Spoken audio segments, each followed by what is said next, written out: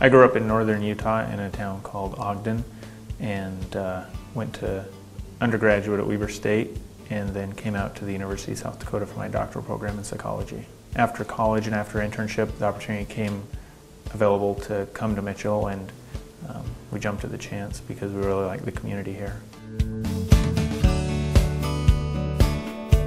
I really enjoyed the coursework in psychology as an undergraduate and I was also able to do some volunteer work in community mental health and uh, and I just loved the profession so I continued in it and uh, really enjoy the work that I can do with people.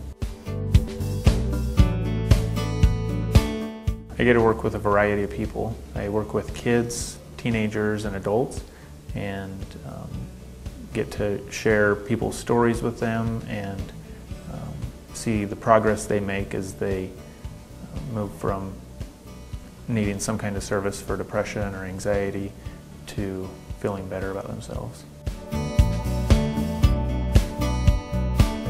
I really appreciate the dedication to providing the best services possible to every patient and that's something I value as a psychologist is being able to deliver services that have been found to be effective at, at treating whatever problem the person presents with. And, and I appreciate Avera's dedication to that.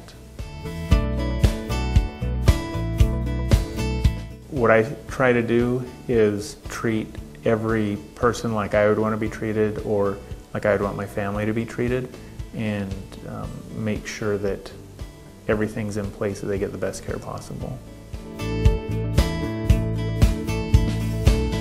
Yeah, I'm married, have three children, and they keep us busy with their activities. They're a lot of fun. We like to mountain bike and kayak and spend a lot of time in the outdoors. We spend a lot of time with our church community and um, extended family as well.